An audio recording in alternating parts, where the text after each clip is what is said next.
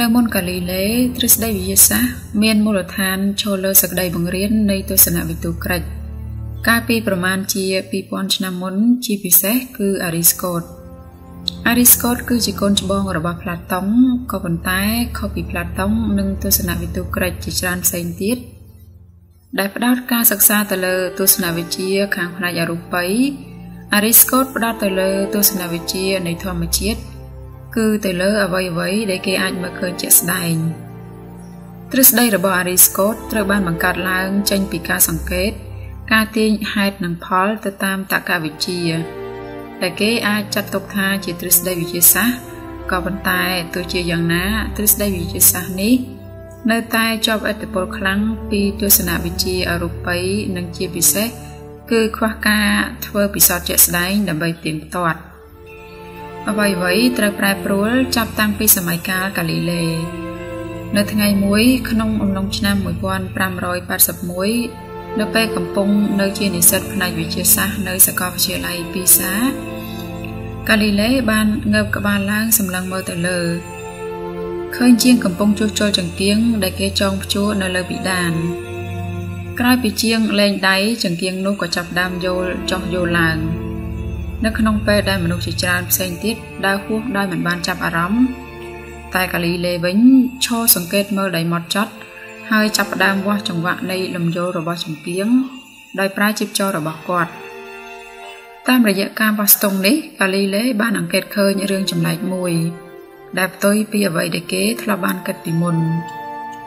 ជាទូទៅគេគិតថាបើសិនជាគេចងព្យួរវត្ថុមួយឲ្យយល់ចុះយល់ឡើង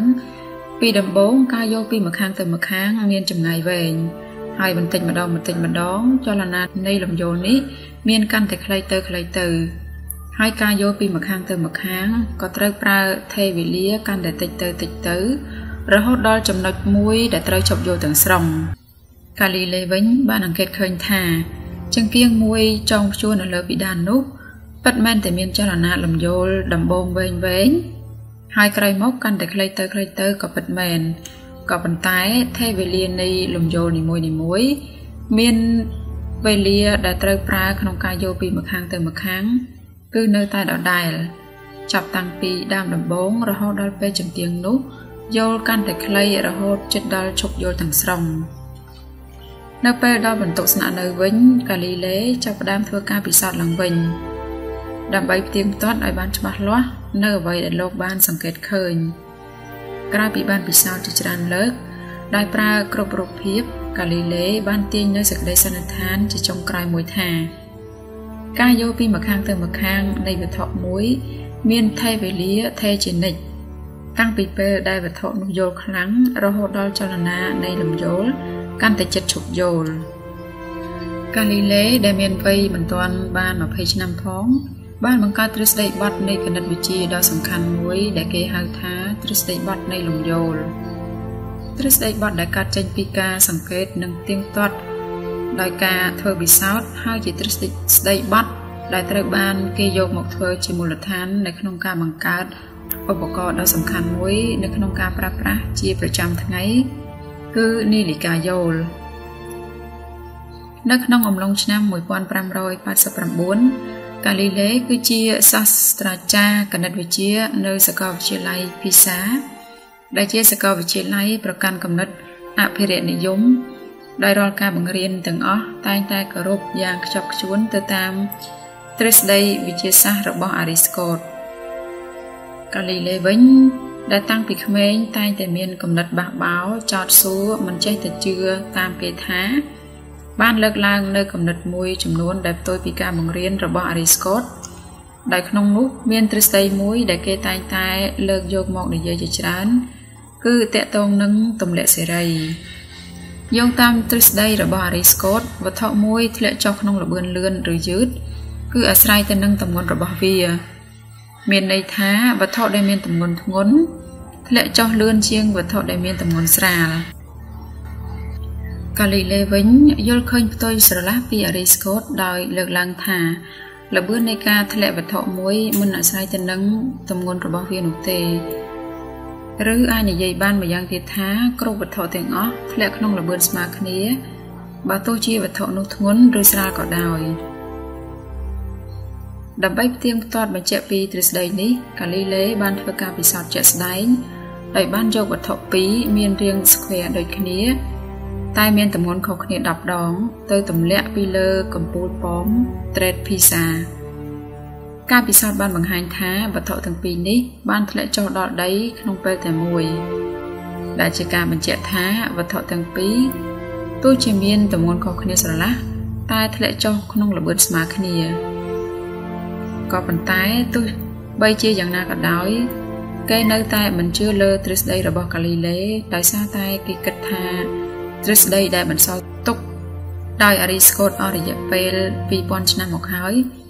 គឺមានលក្ខណៈសមហេតុផលច្រើនជាង ពីព្រោះបើគេគិតតាមស្ថានភាពជាក់ស្ដែងញញួរនិងដុំសម្លៃមិនអាចធ្លាក់ចុះក្នុងល្បឿនស្មើគ្នាបាននោះទេ ជាការពិតបើសិនជាគេទម្លាក់ដុំដែកនិងដុំសម្លៃ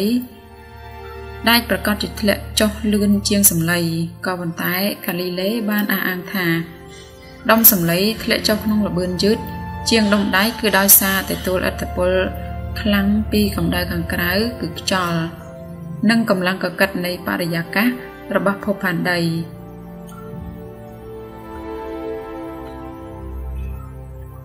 បើតាមកាលីលេប្រសិនបើគ្មានខ្យល់និងបរិយាកាសដុំដែកនិងដុំសម្លៃនឹងត្រូវធ្លាក់ចុះមកក្នុងល្បឿនស្មើគ្នា ក៏ប៉ុន្តែនៅពេលនោះកាលីលេមិនមានវិធីអ្វីដែលអាចធ្វើពិសោធន៍ក្នុងទីកន្លែងដែលគ្មានបរិយាកាសដើម្បីបញ្ជាក់ពីទ្រឹស្ដីរបស់លោកបាននោះទេប្រមាណជា370ឆ្នាំក្រោយមក នៅថ្ងៃទី2ខែសីហាឆ្នាំ1972ទ្រឹស្ដីរបស់កាលីលេត្រូវបានគេបញ្ជាក់តាមរយៈការពិសោធន៍មួយក្នុងអំឡុងបេសកកម្មអាប៉ូឡូទី15ទៅកាន់ភពព្រះច័ន្ទ ដែលជាទីគ្មានខ្យល់និងគ្មានបរិយាកាសអាកាសយានិកអាមេរិកឈ្មោះ David Scott ឈរនៅលើដីព្រះច័ន្ទដៃម្ខាងកាន់ញញួរដៃម្ខាងកាន់ស្លាបឥន្ទ្រីរួចហើយលែងដៃក្នុងពេលតែមួយញញួរនិងស្លាបឥន្ទ្រីធ្លាក់ចុះក្នុងល្បឿនស្មើគ្នាប៉ះដីព្រះច័ន្ទក្នុងពេលព្រមគ្នា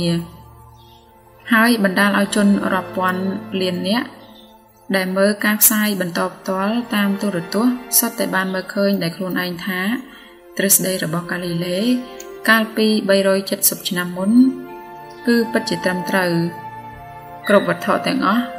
មិនថាមានទម្ងន់ខុសគ្នាប៉ុណ្ណានោះទេសុទ្ធតែធ្លាក់ចុះក្នុងល្បឿនស្មើគ្នា។